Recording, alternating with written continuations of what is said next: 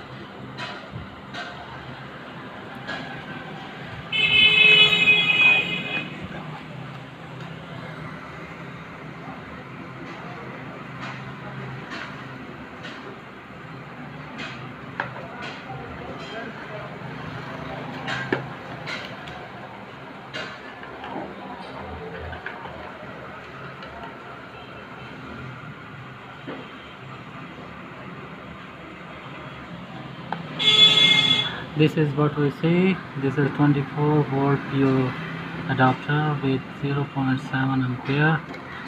And now what we see? Sticker and this is ethernet cable. And now what we see? This is PoE with new features with reset button.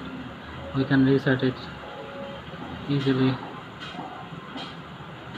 Hmm. what we have now this is first we will have to insert this into the PoE data output power. Now you can see this is for and data in for computer and DSL connection and which way you want to enter the internet. Now first of all we will start it. Now I am turning on the device now you can see that.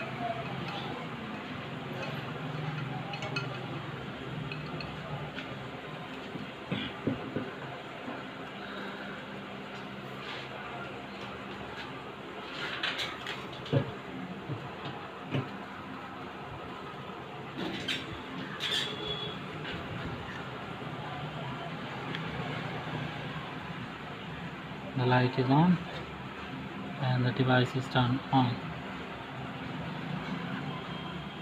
you can see. The power is gone